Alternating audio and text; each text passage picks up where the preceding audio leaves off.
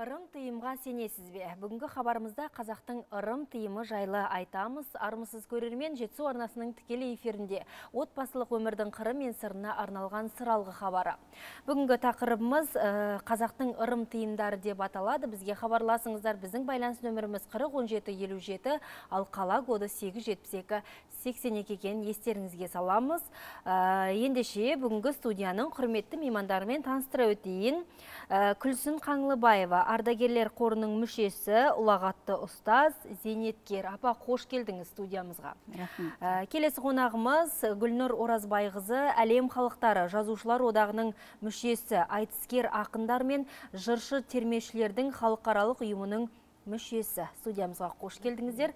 Ә, апа қалыңыз қалай? Осымен біздің ә, сыралғының студиясына екінші мәрте келіп отырсыз. Тағы да қош келдіңіз деп айтамыз сізге. Ә, жалпы қазақта ырым тыйымдар өте көп қой иә? Ә, негізгі ырым тыйымдарды осы үш ақ ауыз сөзбен ақ келтірген қазақ халқы. Жаңағы ә, обал болады жаман болады ұят болады деп иә? Осы үш сөзге кеңінен тоқтала өтейікші. Ол дұрыс. Бұл үлкен тақырып. Бұл тақырыптың енді шегі жоқ. Себебі бұрыннан ата бабамыздан келе жатыр. Ырым менен тыйым. Тыйым деген сөздің өзін түсінуіміз керекпіз сол дұрыс емес. Соны жасағаның деген тәрбиелік мәні бар. Енді қазақ халқы сонау көшпелі заманнан келе жатқан уақытта осы ырым менен пайдаланып отырған. Басқа да біздің ұлттық жаңағы ә, тәрбиелеріміз бар ғой. Соның ішінде мына ырым менен тыйымның да мәні зор деп ойлаймын мен. Енді бұл негізінде әлі зерттеліп бітпеген. Ол жалғасып жатыр жалғаса береді. Ырым менен тыйымдар әр елдің өзінің ырым тыйымдары бар. Біздің қазақ ұлтында осы ырым менен тыйымды өте жоғары бағалаған әлі де бағалай береміз. Біз ұмытпауымыз керек. Ә, халқымыздың жаңағы бұрыннан келе жатқан салт дәстүріне ырым тыйымның да қосар үлесі зор. Жаңағы жерге нан түссе баспа дейді тыйым оның тәрбиелік мәні бар баспау керек немесе жаңағы босағаны керме босағада тұр табалдырықта тұрма дегеннің өзі жаңағы тәрбиелік мәнге ие болған апа енді қараңызшы расымен де мен ғана емес бізді көріп отырған қаншама миллиондаған көрермендеріміз бар иә? Осындай ырым тыйымдарды үлкен апа әтежелеріміз айтып отырады бізге. Осыны жасама обал болады нанды баспа жаңағыдай деген сияқты иә. бірақ түпкі мән мағынасын түсіндірмей жатады. Сіз мысалы бір ырым тыйымды алып соның жаңағы түпкі мағынасына тереңірек үңілсек мысалы керегені керме. керегені керме. иә оның себебі неде мысалы? Жастар көбінесе түсінбей жатады керегені керме ол бұрын ата бабаларымыз қазақ үйде тұрған ғой. Оны керу дұрыс емес жаңағы. Керегені керу деген жаңа сыйламағандық жаңағы жаңа тұрмыстық үйдің несін босағасын сыйламағандық сондай мағына сондай мағына береді.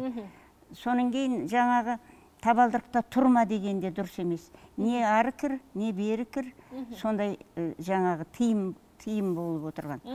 Бұның енді айта берсек маңызы өте зор тыйымдар бар. Мысалы үшін жаңағы тұздың маңызы да зор. Тұзды төгуге болмайды тұзды таптауға болмайды дейді.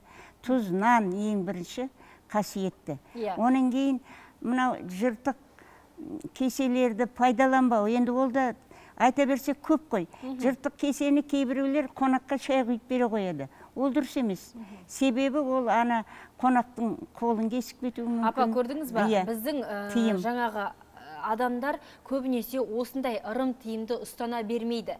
Себебі қаншама жаңағы қонақ болсын не болмаса асхана болсын бар жерге барамыз сынық ыдыстар тұра береді. Жалпы бұл дұрыс емес.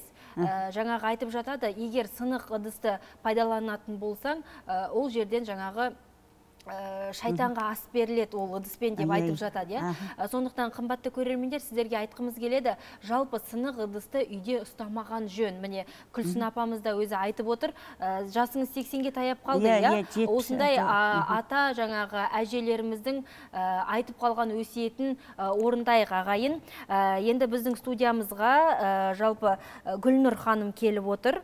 Гүлнұр ханым жаңағы ә, жалпы ырым тиымдарды үш ақ сөзбен айтқан деп айтып отырмыз ғой иә? Өзіңіз де ә, жас кезіңізде жаңағы бала кезіңізде ата анаңыздан осындайларды естіген шығарсыз иә? Обал болады қызым жаңағы көкті жұлма иә? Не, не болмаса тағы басқа да осындай дүниелерді. Иә естіп өстік барлығын. А, оның барлығы бізге таныс сөздер. Енді ырымдар мен тиымдар халқымыздың ұлттық болмысынан бөлек қарауға болмайтын үлкен тәрбие құралы деуге болады. Қазақ халқымен ғасырлар бойы бірге жасасып келе жатқан ырымдар мен тиымдарымыз халқымыздың өмірінде салт дәстүрінде әдет ғұрпында кең етек алған көп көрініс береді. Яғни осы ырымдар мен тиымдар адамды тәрбиелейді және ә, жаман қылықтардан тыйылуға бағыт бағдар көрсетеді. Сондықтан оны өте маңызы зор тәрбие құралы деуге болады гүлнұр ханым енді ә, қазір қандай бір мәселені көтермесек те ә, жалпы айтып жатады ә, тәрбиенің осалдығы иә үйде тәрбие көрмеген деген сияқты. Демек біздің жаңағы осы ырым тиымдарды ұстанбағандықтан осы тәрбие жағы кішкене осал болып қалды де- деп айта аласыз ба? Деп айтуға болады әрине. Өйткені қазіргі көп жастарымыз ырым мән сенбейді. бермейді сенбейді. Иә көбісі ол көненің сөзі ол керегі жоқ сөз деп айтады. Іс жүзінде ол маңызы өте зор. Мысалға алып айтатын болсақ есік керме деген сөз иә? Есікті керме дейді. Бірақ оның түпкі нарқын біле бермейді. Іс жүзінде ол есік кермеудің есік керудің ә, бұрынғы ерте заманда жаңағы ә, жау келе жатқанда үйді бұлап талайтын жаулар келе жатқанда үйдің отағасы есік кереді екен. Кірме деген иә жауды кіргізбеу мақсатында. Сол кезде жаудың беті қайтады екен. Және де ә, сол отбасындағы әйелдің күйеуі қайтыс болған жағдайда ә, күйеуін жаңағы мәйітті шығаратын кезде әйел адам есікті керіп жоқтау айтып күйеуін қимастық сезімін білдіріп жылайды екен. Сонда бұл есік сол, сол кезде сондай жаман жағдайларда керілгендіктен қазір айтып отырады иә мынандай жақсы заманда ол керуге болмайды деп ырымдаған. Жалпы ә, көбісі сенбей жатады иә. Өзіңіз енді ә, ырым тиымға сенесіз ғой. Мен сенем жалпы. Барлығына ма? өйткені біздің ырымдар мен тиымдар біздің салт дәстүрімізбен және дінімізбен байланысып біте. Иә, қайнасқан. иә. Жалпы енді айтыңызшы қазір ә, көбінесе ә, бұл қазақтың ырымы деп те жаңағыдай әртүрлі ырымдарды айтып жатады иә. Бірақ оның түпкі жаңағы мән мағынасына мән бере бермейді.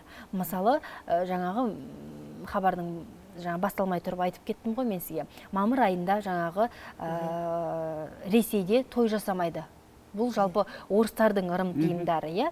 Жаңағы бақытсыз болады деген сияқты. Ал оны қазір қазақтар дәл соны иә ә, ұстанып жүр. Ұстанып жүр. Иә жалпы осындай ә, не айтасыз? оған мен келіспеймін. біздің қазақтың өзінің ырымдары мен тиымдары өзіне жетеді деп ойлаймын. Себебі бізге басқа ұлттың тиым ырымдары керек емес. Мамыр айы көктем айы қазақ үшін қандай керемет ай? Иә дұрыс ең айтасыз. думанды керемет тойларды өткізетін ай. Сондай басқа ұлттардың дәстүр салтын қабылдаудан аулақ болып өз дәстүріміздің өзін толық меңгеріп алсақ та бізге үлкен ұрпаққа тәрбиелік құны болар еді деп ойлаймын. Енді ә, жалпы апа ә, неге тоқтала кетейікші? Жалпы ә, ырым тиымдарға мысалы ә, ас ішіп болғаннан кейін тойдым деп жаңағы айтып жатамыз иә? Бірақ ә, бұның өзін олай айтуға болмайды деген ырым тиымдар бар екен. Иә мысалы қанағат иә? Ә, деген сияқты. Осыны бір түсіндіре кетсеңіз. Не себепті? Мысалы расымен де адам тояды иә? Тойып жеңдер деп айтып жатады иә? Бұл сендер үшін жасалған дастархан деген сияқты. Енді адамда қанағат болу керек қой. Соған ризашылығын іштей білдіру керек. Енді оны мен тойып кеттім сондай ә, тойып тұрмын деп айтуға болмайды енді. Солай ойлаймын енді мен. Қанағат қанағат әрбір затқа қанағат болу керек. Ә, рахмет апа. Енді ә, дәл қазір ә, сөзімізге тұздық болар бейне сюжетке кезек берейік. Экранға назар аударыңыздар. Қазақ халқының рухани мұрасында ежелден бері ұлттық болмысымен біте қайнасып кеткен сөз магиясына сенушілік мифтік наным сенімдер негізінде пайда болған ырым тыйымдардың орны ерекше. Олардың бір бөлігі тәңіршілдік сенімі мен шаманизмнің жұрнақтары деп қарастырылуы тіпті мұсылмандық қағидаларға қайшы болуы мүмкін. Адам табиғаты естіген көрген нәрселерінен бір мағына шығарып оны жорамалдауға құмбыл тұрады. Жақсы нәрсе естіп немесе көңіліне хош нәрсені көрген сәтте оны жақсылыққа жорамалдаса ұнамсыз сөз естіп жағымсыз нәрсе көрген кезде оларды жамандыққа ырымдай бастайды. Кейбір жандар көңілдеріне сыр берген бұл сезімге қатты мән беріп оған имандай сенеді. Тіпті сол бойынша әрекет етеді. Мұндай соқыр сенім мен ырымға құлай берілу қаншалықты дұрыс?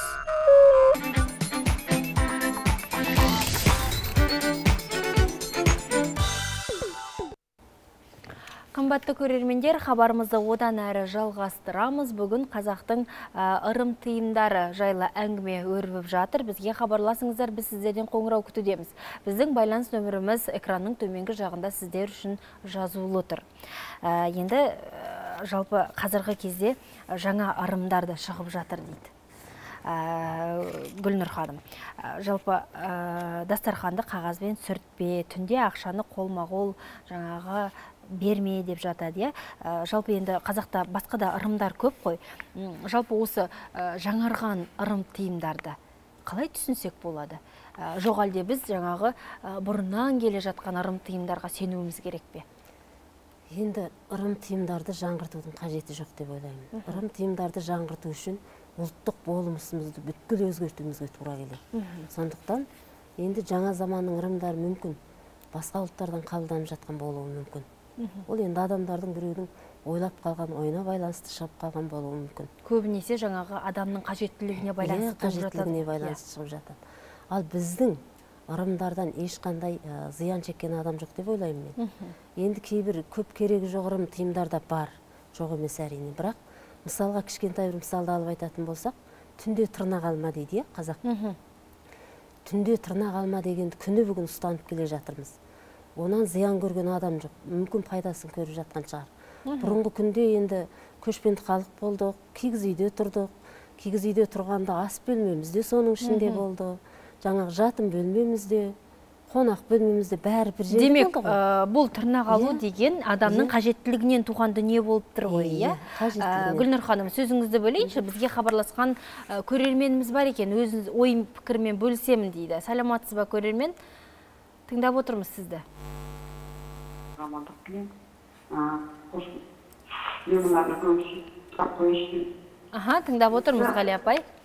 Енді қазақ ырым ұстайды мысалға мысалға маған айтты. Сол көп ағай жата жиналады. Басқа елдер өліп келген адам қайда бар ғой. Ол қалай ол ғали апай біз сіздің сауалыңызды түсінбедік. Сөзіңіз үзік үзік шығып жатыр. Тағы қайталап жібересіз бе сұрағыңызды қысқа да нұсқа? Мысалы мысалы өлік жан жақтан даже жас алқын ағайын сонда көршілер басқа ағайындар келген адам кіріп үйге сол қалай?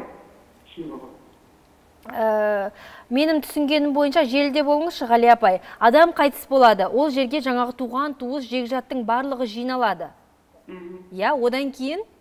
Содан кейін енді қонақтар жоқ қой деп жатады. Иә басқа біреудің үйіне барып қонса бола ма? Иә. Аха рахмет сауалыңызға ғали апай. Біздің арнадан ауыспаңыз қазір бізге біздің студия қонақтары түсіндіре кетеді. Апа түсіндіңіз ба сұрақты? Ана адам қайтыс болғанда ғой. иә енді мына заманда өтірік айтуға болмайды. Сонау алыстан құда жекжаттар келеді туысқандар. Енді олар сол үйге сыймайды ғой енді. Сондықтан туған туысқандары ертіп алып барып жаңағы жатқызып алып келеді. Ондай ондай болмаса болмайды. Апа енді мынандай ырым бар ғой. Мысалы қайтыс болған үйге келетін болсаң сол үйге кіріп шыққаннан кейін басқа үйге баруға болмайды деп жатады. Ол жаман ырым дейді. Алдымен жаңағы туысыңның үйіне кіріп одан кейін барып жаңағы қайтыс болған адамның үйіне кіру керек деп жатады. Бұл ырым қаншалықты жаңағыдай ырым енді ырым тиымдар бар ғой бірақ та ол орындала қоймайды. Себебі ол алыстан келді астанадан келді басқа жақтан келді. Жаңағы барып қонса Иә, етпейді дейсіз барып қонса түк етпейді құдай өзі кешірсін деп бұл ырымды сонда адамдар өздері ол адамдар өзі ойлап ойлап тапты ма бұрындары болмаған шығар жақын тұрды ғой бәрі бір біріменен қазір алыстан келеді. Сондықтан енді ол баратын үйін білмейді ғой қайда қонатынын. Ана жаңағы үй өзі тар болса оған сыймайды. Сондықтан келген ағайын туыс жекжаттарды жаңағы өздерінің туысқандары бөліп алып кетеді. Рахмет гүлсін апа. Енді гүлнұр ханымнан да сұрайықшы осы жөнінде естуіңіз бар ма? Естуім бар иә. Ә, жаңағы кісі өлген жерге бара жатып жол жөнекей бір үйге қыдырып баруға кәдімгідей болмайды. Ол бізге дейін жалғасқан бізде де болған мысалы. Оны ырымдайды өлімге жаңағындай қаралы болған жерге бара жатып менің үйіме келді деп сол үй иелері үй көңіліне алып қалады. Бұрын солай болған. Апа енді қазір бұл дәстүр бұзылып жатыр деп ойлауға бұл жалпы не болады сонда кіріп шықса? Ол енді ештеңе болмайды. Енді сол жаңағы просто кейбіреулер соны өзі соны қалыптасып қалған соны көңіліне алады ол дұрыс емес көңілге алмау керек. Жалпы ә, бізде былай айтып жатады иә. бір нәрсені жақын көңіліңе а, алмасаң ол жаңағы орындалмайды деп жатады. Ал егер де жүрегіңе жақын қабылдап қалсаң ол міндетті түрде жаңағы орындалады иә. Мүмкін ойламау керек шығар. Ойламау иә, керек. жақсы нәрсені ойлау көңілін алмау керек. жаңағы бірақ айтып жатады иә қайтыс болған жанашыр туысқандар алып кетеді ғой жаңағы қонақтар. Қазір енді өтірік айтуға болмайды қонағасы дегенде тоқталды ғой. Бірақ та алыстан келген құда жекжаттар қайда барады енді? Сол үйге қонып ертеңінде шығарып салу керек қой жаңағы мәйітті. Сондықтан көңіл қалмай біз өзіміз де барып жүрміз талай жерге. Сол құдай өзі кешірсін деп қонамыз алыс жерлерге барамыз. Апа сонда біз мұнда ырым тыйым дегенді ә, мүлдем жаңағыдай жоққа шығарып ә, отырғандай болмаймыз ба? Жоқ жоққа шығармаймыз. Бұрындары болған енді. Кейбір кейбір адамдар әлі күнге дейін сол тыйымдарды көп не қылады көңілін алады сондай болмасын деп. Мысалы қара мысық өтіп кетсе ол жаңағы бара жатқан адам Жаманшылық, шақырды болмайды деп жатады, иә. сөйтіп жатады. Ал енді ол кейбіреуін байқамай қаламыз өтіп кетеді ғой. Ал енді басқа елдерде мына ұлыбритания тағы басқа елдерде ол қара мысық өтсе қуанады екен ол сәттілік Керісінше дейсіз ғой. керісінше. Сондықтан әр ұлттың өзінің жаңағы нелері болады ғой. Оның барлығын көңіл қала бермеу керек. Оның енді пайдасы да бар енді апа ә, жаңағыдай көңілге ала бермейік десек те сонда біздің ә, қазақы ырым тыйымдарды ә, жоққа шығарумен тең сияқты өзімнің ойым. Қазір жалғастырамыз апа. Бізге өз ойымен бөлісемін деген көрерменіміз бар екен. Саламатсыз ба көрермен? Тыңдап отырмыз сізді. Саламатсыздар ма? Саламатсыз ба? Ә, менің бір сұрағым бар еді осы мүшел жасты айтуға болмайды дейді екен. Солай бір ырым бар екен қазақта оның мағынасы қандай екен. Мхм. Сізге бұл ырым жайлы кім айтып еді? Енді үйдегі үлкендер айтады ғой. Мен мысалға жиырма беске келген кезімде айтатын сен жиырма беске келдің деп айтпа. Жиырма төрт жиырма алты деп айтуың керек деп айтатын и сонда қызыл нәрсе кию керек қызыл нәрсе тағу керек деп айтатын иә енді ырымшыл халықпыз ғой. Жалпы басқа да ырым тыйымдарға сенесіз бе өзіңіз? Иә негізі сенемін ұстанасыздар үй іштеріңізбен үй ішімізбен ұстанамыз иә сол жаңа бастапқы айтып жатқан ана кесенің сынық кесе бар ғой Иә, ұстауға болмайды деген шашты мысалға Жаюға болмайды. өртеу керек деген сондай ырымдарымыз бар соның бәрін ұстанамыз негізі енді өзіңізді таныстыра кетіңіз аты жөніңіз қай жақтан хабарласып отырсыз мен көкшетау қаласынан хабарласып отырмын есіміңіз есімім лина лина рахмет сізге. Сонау көкшетау көкшетау қаласынан бізге хабарласып ә, ойыңызды жаңағы сауалыңызды жолдап отырғаныңызға алғыс білдіреміз. Гүлнұр ханым жауап бере кетсеңіз. Иә жаңағы кісінің сұрағы ғой. Енді негізі мүшел жаста адамға қауіп қатер көп болады деген ә, не бар халық арасында. Сондықтан ол мүшел жасында ешкімнің назар аудармайтындай елеусіз болып сол бір жылдың өтіп кетуін ойлайды адамдар. Енді қараңыздаршы 25-ке ә, мысалы мен де 25 жасыма толған кезде мен 25-ке келдім деп ә, айттым мысалы. Мен ғана емес шығар қаншама адам мысалы айтты. Ә, мысалы ода тұрған не бар? Ода тұрған ештеңе жоқ барлық адамдар ұстана бермейді оны. Көп адам ұстанбайды көп адамдар өзі айтып иә. отырмын ғой өзі сол ырымды көп сақтайды өзінде. Ол енді мен өзім ойымша дұрыс емес. Апа менің түсінгенім м, жалпы ә, кім көңіліне жақын алады сол адамда Иә, иә, жаңағы ырым тыйымға деген сенуі де сенбеуі де соған байланысты болып отыр ғой иә адамның өзіне. Енді оның жаңағы пайдаланатын жері де бар пайдаланбайтын жері де бар. Соны ұстанған дұрыс негізінде бірақ та көңілге көп ала беруге оның болмайды. бәрін ұстай берсе Иә, тіпті иә. Өмір сүрудің өзі қиынға берсе ондай болса неге барлық ырым тыйымдарымызды жоққа шығарып жаңағыдай ырым тыйымсыз өмір сүрмейміз. Жоқ шығара алмаймыз.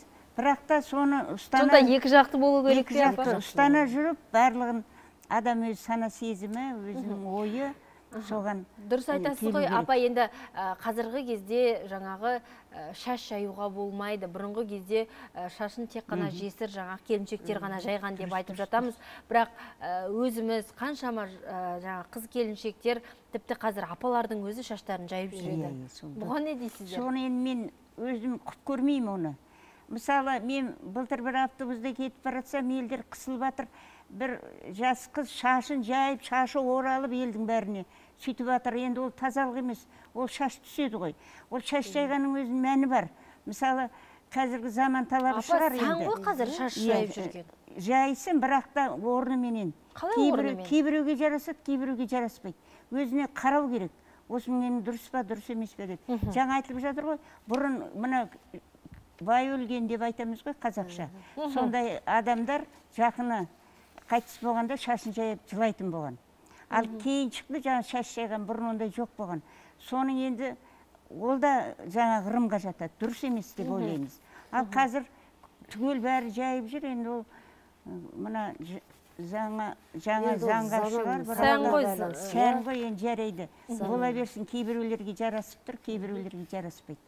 Сол үлкен адамдардың шаш жайып жүргені дұрыс емес деп ойлаймын мен шаштың жинақы тұрғаны әрі тазалық әрі мәдениет жаңағы менің өзім ойымша. Әрі сән иә дейсіз ғой. сән.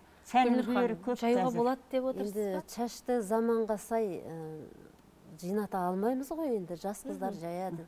Бірақ оның да жайылатын орны бар жаңағы ә, мәдениет орталарда әлеуметтік орталарда әрине Иә, иә, болады. Ал үйде жаңағы аспен қазан аяқпен араласып жүрген әйелдің шаш жайған дұрыс емес.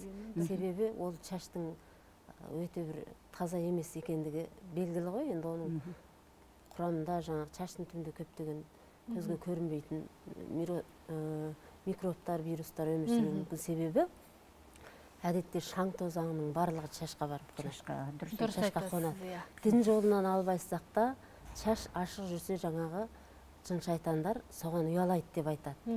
Іс жүзінде сол жаңағы дін мен дәстүрдің ұштасып жатқан жері осы деуге болады. Біз көбіне жақсы нәрсе ойласақ жақсы нәрсе айтсақ әрине жақсы болады. Біз жаманның бәрін ұстанып ырымданып қорқа берсек онда жаман болады. Біздің жаңағы дінімізде бұрын ерте заманда пайғамбарымыз айтыпты сахабаларына сендер жаназаға барғанда ешқашан жаман сөз айтпаңдар тек жақсы сөз айтыңдар. Себебі періштелер аумин деп қолын жаяды депті ал бүгінгі күнде жақсы сөз жарым ырыс дейді біздің қазақ иә? Жаман нәрсе айтпа тек қана жақсылықты айт дейді. Біреуге алғыс білдірсек аумин рахмет айтқаның келсін деп жатады иә? Ризашылығын білдіріп. Сонда жаңағы дәстүр мен діннің арасында қандай байланысып жатқан тәрбие бар екендігін осындай сабақталған жерлерден көріп отыруға болады. Мхм. Рахмет. Ә, гүлнұр ханым қымбатты көрермендер біз сіздерден ә, қоңырау күтудеміз. Бүгін қазақтың ырым тыйымдары жайлы айтып жатырмыз. Ал дәл қазір бізде жарнама. Жарнамадан кейін тағы қандай ә, ырымдар бар қазақта және оның мән мағынасына кеңінен тоқталатын боламыз. Біздің арнадан ауыспаңыздар.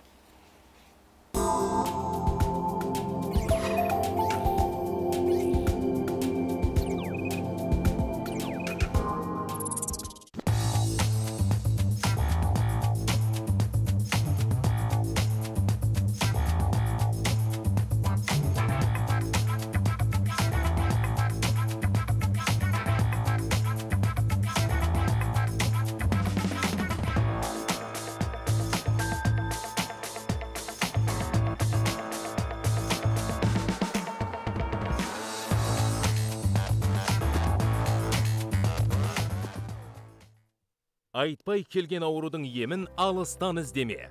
Мықты денсаулықтың құпиясы ұлттық құндылықта қырық дерттің алдын алатын жаңа саумал өнімі. Бұл неміс технологиясы мен дәстүрдің тамаша үйлесімі. Қабылдауға ыңғайлы капсула түрінде жасалған. Ол иммунитетті күшейтіп холестеринді азайтады. Қан қысымын реттеп инсульт пен инфаркттан сақтайды. Гормоналды фонды жақсартып буын бауыр асқазан ауруларының алдын алады. Құрамындағы амин қышқылдары қандағы қанттың деңгейін азайтып оны сұйылтып айналымын реттейді. Белсіздік пен семіздіктен арылтады. Өкпенің созылмалы аурулары кезінде пайдалы. Тапсырыс бер. 8 727 221 0595 қазақстан бойынша жеткізу тегін. 221 0595 сау мал. Дерттің шипасын дәстүрден ал.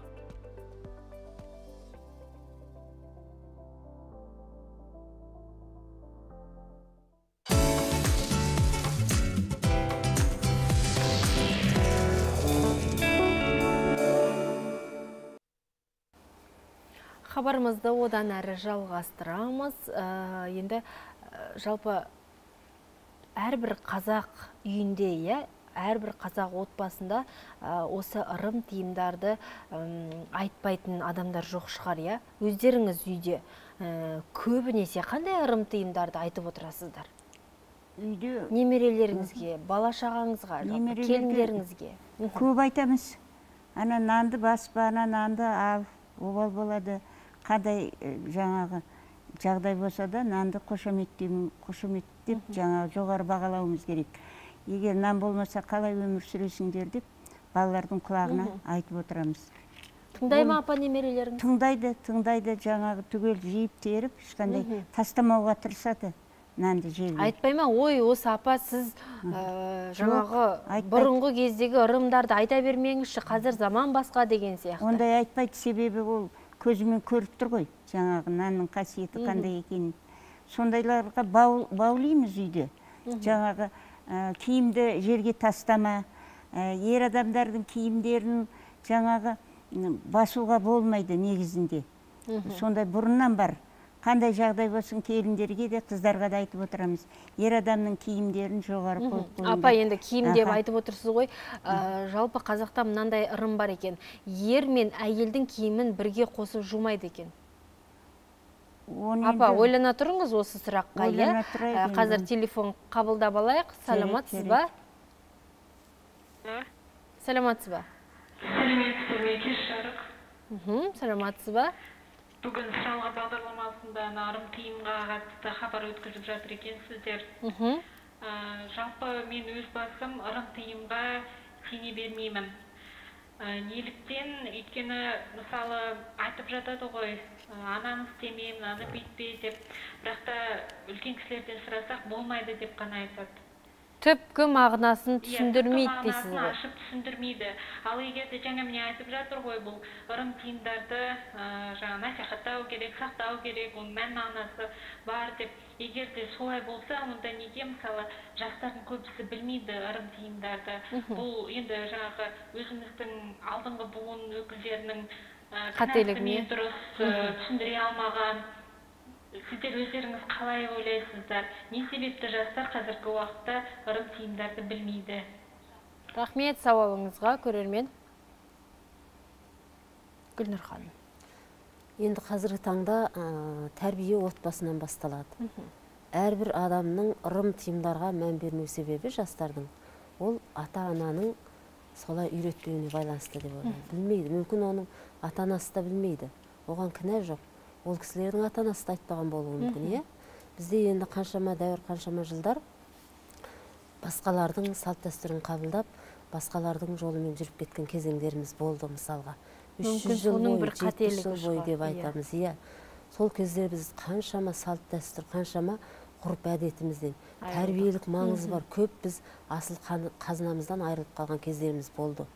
Аллаға шүкір қазір бәрі қайтып келіп жатыр оралып жатыр. Ұстанатын жақсы тәрбиелік құны бар ырым тиымдарды ұстанғаннан ешқандай ә, зиян жоқ. Өйткені ол жаңағы ә, қателіктерге баспауға жол бастайтын тәрбиелік құрал деп айтып отырмыз. Апа, енді жаңағы мен сізге қойған сауалыма жауап бересіз қай бе? сұрақты? Ондай жаңағы ырым тиымды естіп пе едіңіз? Ер мен әйелдің киімін қосып жаңағыдай жууға болмайды. Қазіргі кезде жаңағы ә, кір жуатын машинкеде бас киімде тіпті жаңағы ә, аяққа киетін шұлық барлығы бірге қосылып жаңағы ә, жуылып жатады деп жатады. Бұл өте жаңағы дұрыс емес. Ол дұрыс емес. Тазалыққа да дұрыс емес. Енді ертеректе болды ғой енді қолмен жуды. Ер азаматтардікі бөлек әйел адамдарды бөлек жуды. Ал енді қазіргі заманда мына жастар машине дейді дағы мынау ақ киімдерді бір бөлек қара киімдерді бір бөлек жуып жатады. енді ол заман талабы енді ол апа жуады бірақ ана ә, нәскей шұлықтарды қосу мүлде дұрыс емес. Енді оны кейбір жағдайда біз үлкен адамдар әлі күнге дейін өз іш киімдерімізді нәскей нелері киімдерімізді бөлек қолмен жуамыз әлі күнге дейін қалыптасқан. Апа демек ә, кейбір ә, жаңағы ырым тиымдарға ә, жаңағы сол ырым тиымдарды ұстанудың қажеті жоқ сияқты иә? Қалай ойлайсыздар? Енді мен айттым ғой жаңа бәрін бірдей ұстана беруге болмайды. Ұстанатын жері де бар ұстанбайтын жерлері де бар жаңағы. Жаңағы кейбіреулер айтып жатады иә қазақтың ырым тиымдарын Иә. ұстанатын болсақ ә, жаңағы өмір сүре алмай Иә, қаламыз деген де сөздерді жиі естіп жатамыз ғой иә? Дұрыс айтады сондықтан ол енді адамның өзінің сана сезіміне өзінің ұқыптылығына мәдениеттілігіне бұл ырым тиымдардың өзі адамды тәрбиелейді адамгершілікке жаңағы тазалыққа соның барлығына. Ырым тиымдардың пайдасы зор енді. Оны енді біз үлкен кісілер айтамыз енді қандай жағдайда. Ал енді жастар жаңа айтып жатыр ғой өздері де білмейді ата анасы да білмейді. Иә апа бұл сұраққа қалай жауап бересіз? Ондайда ондайлар да бар енді өтірік айтуға болмайды. Енді мүмкін біздің ырым тиымдарымыз жаңағыдай өзінің деңгейінде жаңағы насихатталып жүрмеген шығар. Насихаттау енді ол біз үлкендер айтамыз насихаттап айтамыз. Жастар енді оны көбісі айт- айта бермейді. Айтуға еріне ме екен енді. Ал бірақ көзі көріп тұрған жаңағыдай ә, ырымдарды айтуға міндетті олар да айту керек. Біз қазақпыз. Өзіміздің ұлттық жаңағы дәрежемізді жоймауымыз керек. Оны әлі де болса насихаттай беруіміз керек. Ырымдар өте көп қой. Оның барлығын ұстанып қатып қалатын болсақ жаңа өзің айтпақшы ол мүмкін емес. Апа енді жалпы үлкендеріміз деп айтамыз иә жастарымыз білмейді деп айтамыз. Ә, бірақ қазіргі кезде тіпті бастарына орамал салмайтын ә, әже апаларымыз да бар ғой. Сонда бұл кісілердің өзі жаңағы шашты жіберуге болмайды басқа міндеттерде орамал тағу керек деген тыйымдарды ұстанбай ма сонда? Ол кісілердің сана сезімі төмен деп ойлаймын мен. Әр зат өз уақытысында. Мысалы міндетті түрде әйел адам асханада жүргенде басына орамал тағып жүру керек. Ол тазалық жаңағы шаш түседі. Ол өзіне де жақсы көрген адамға да жақсы. Түскен келіндер неліктен жаңағы орамал тағады дейміз орамал тағу енді ол жаңағы салт дәстүр болса дағы ырымға да жатады жаңағы тыйым тазалыққа. Апа, енді, жалпы- дұрыс емес ол.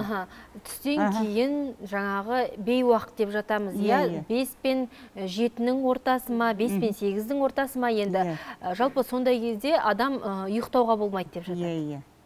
Естідіңіздер ма осындай? Естидік ол ол дұрыс емес енді. Осының мағынасын кеңінен ашып бейуақта жатпа жата қалады жігіт бар Мгм. бейуақта жатпа дейді. Енді ә, мына діни жақтан да айтады бейуақта зауал уағы деп айтады былайша айтқанда. Зауал деген жаман нәрсе ғой енді. Адамға бір тосын қауіп қатер төнгіш болатын уақыт дейді мүмкін, де иә. Кешке жақын жаңағы жын дейді жын шайтандардың көшетін уақыты дейді бейуақта. Сыртта жолда жүрме жолда тұрма далаға шықпа бейуақта деп жатады.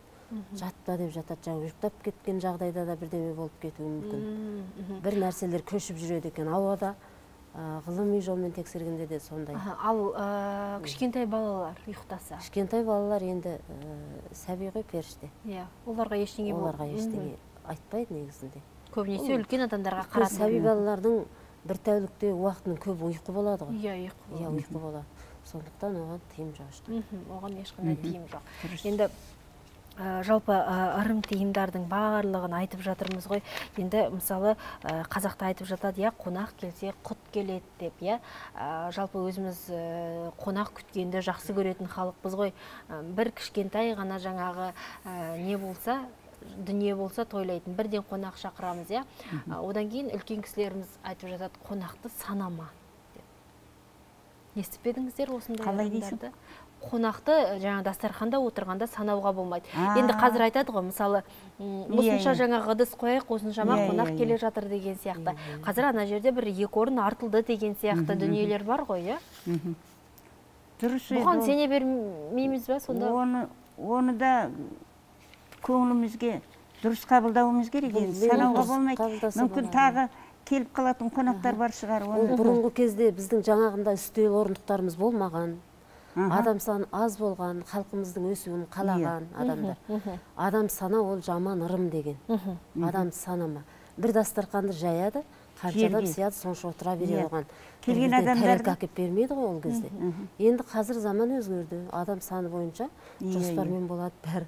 Қанша тамақ қанша ет тастасын. Расымен иә барлығы жаңағы есептеліп қойған дейсіз ғой. тозығы бар озығы бар деген осы жерде. Иә енді ә, жалпы озығы бар тозығы бар деп отырсыздар ғой. Ә, мүмкін жаңағы тіптен ә, қолданысқа келмейтін иә адам шынымен түсінбейтін ырым тыйымдарды жалпы алып тастасақ қалай болар екен? Енді оны заман уақыт көрсетеді ғой. Бұл ыр- ыр- ырым тыйым өзі толығынан зерттелмеген деп ойлаймын мен өз басым. Әлі де зерттелу керек па сонан кейін шешім қабылдау керек па? Бірақ та оның көп пайдасы бар жаңағы пайдасы жоқ жерлері де бар жаңағыдай. Қайтыс болған жерде қонбау керек тағы басқа ондайларды енді көңілге алмау керек.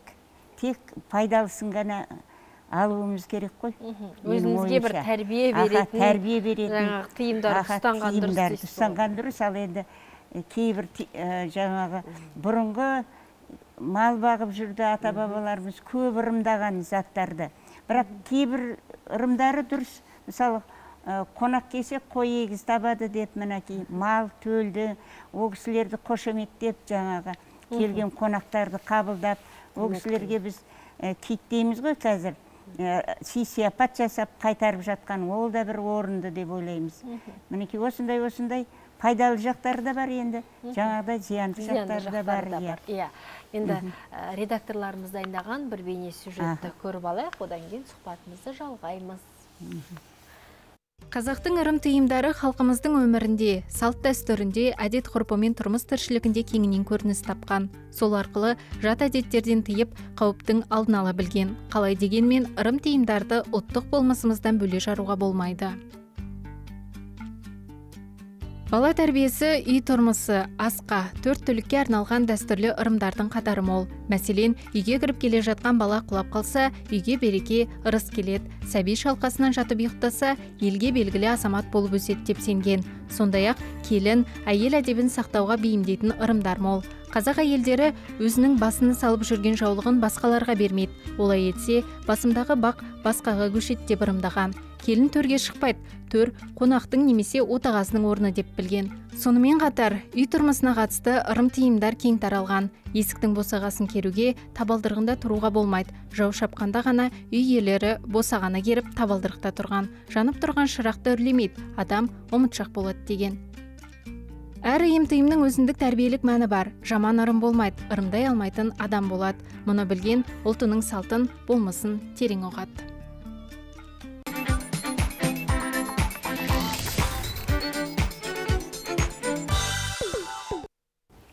ардақты ағайын хабарымызды одан әрі жалғастырамыз. Бүгін біздің көрермендеріміз жаңағы қоңырау шалмай жатыр бізге. Біз сіздерден қоңырау күтудеміз қымбатты көрермен хабарласыңыздар. Байланыс нөміріміз экранның төменгі жағында жазулы тұр. Енді сюжеттен көріп жатырмыз иә?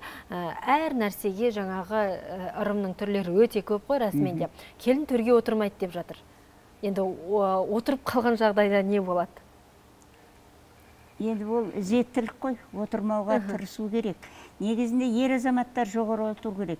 Біз қазақпыз. Әлі күнге дейін соны біз ұстанамыз. Ер азаматтарды жоғарғы отырғызып апа енді ер азамат ә, жаңағы үйде болмайтын кездер болады иә? Енді ондай кезде отыра беруге болатын шығар. жағдайларда үлкен кісілер отырады. Енді келін жүгіріп барып төрге отырған дұрыс емес.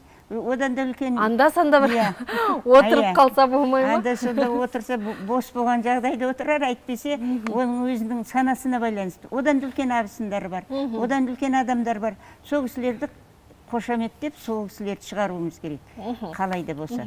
Енді гүлнұр ханым сізден сұрайыншы тағы да. Ә, жалпы қазіргі кезде тіпті ә, бір бірінің киімдерін ә, кие береді иә адамдар? Жалпы киім беруге болмайды деп жатады. Ә, қазір мысалы ә, жағдайы төмен отбасылар бар иә? Сондайға жаңағы мешітке барып киімдерімізді таратып беріп жатамыз иә? Ә, одан қалса жаңағы кішкентай бала мынау жаңағы бауырынікі ғой. Мына енді келесі жолы қызым кие берсін осы киімдерді ә, деп кигізе береді ғой. Бұның өзі жаңағы болмайды екен ырым тыйымда негізінде. Негізі бұл қате ырым емес дұрыс ырым деп ойлаймын. Бүгінгі күнде де бар ол. Бөтен кісіге мысалға киім бермейміз біз. Мен өз басым. Ал өзімнің бірге туған жаңағы бір әке бір шешеден тараған ұл қыздардың балаларына береміз киімдерді. Өйткені олар ештеңені көңіліне алмайды. Және ә, сізге жаманшылық ойламайды жаңа жаманшылық ойламайды ал сіз бөтен біреуге бердіңіз ол киім бір күні аяққа басылып жатуы мүмкін Ол қандай жағасы мақсатта қолданылды иә қандай мақсатта қолданады біз білмейміз. Пол сүртіп жатуы мүмкін мысалға. Сондай себеп. Оның үстіне және оның медициналық жақтан да бір маңыздар бар болу керек. Ә, Иә. енді адам болған соң жаңағы иә терге жабысқаннан кейін. тері Мгм. аурулар болады түрлі түстегі жұқпалы аурулар болады. Сол арқылы жаңағы аурудың тарқап кетпеуінен сақтану үшін және жаңағы киімнің жағасы көбінде аяққа басылмасын дейді ғой қазір. Сол себептен бөтен кісіге киім бермейді. Рахмет гүлнұр ханым. Ә, апа біздің хабарымыз қазір аяқталады бірер минутта. Қысқа да нұсқа қорытындыласаңыз. Енді қорытындылағанда бұл халқымыз о бастан осы ырым мен тиімді айтып келе жатыр. Әлі де біз айта береміз оның ешқандай зияны жоқ. Оны жаңағы дамытатын біздің жастарымыз өзінің сана сезіміне қарай ата аналарымыз соны үйретіп балаларды ырым тиімнің қайсысы ырымы қайсысы соны әр уақытта айтып отырғаны абзал дейміз. Оны жаңағы дамытатын осы жастар сіздер. Сондықтан айтатынымыз жастарға айналайындар. Ырым тиымдарымызды ұмытпайық. Басқа да салт дәстүрлеріміз көп қой енді оның бәрі бір неге сыя бермейді. Бүгін сол тыйым ырым туралы айтып отырмыз. Сондықтан соны өрбітетін соны дамытатын сіздер боласыздар айналайындар. Рахмет апа. Гүлнұр ханым қысқа да нұсқа менің де айтарым халқымыздың ғасырлар бойы бірге жасасқан ырым тиымдары салт дәстүр әдет ғұрпымызда кеңінен етек алған. Ол ұрпақтарға тәрбиелік мәні зор құрал деп қарауға ұлттық болмысымыздан бөлек қарауға болмайды деп айтар едім рахмет сіздерге. Студиямызға уақыт бөліп келгендеріңізге тағы бір мәрте алғыс білдіремін. Ә, расымен де ә, ұлттық болмысымыздан айырылмайық дегіміз келеді. Қымбатты көрермендер ертеңге дейін қоштасамын өздеріңізбен. Сау саламатта болыңыздар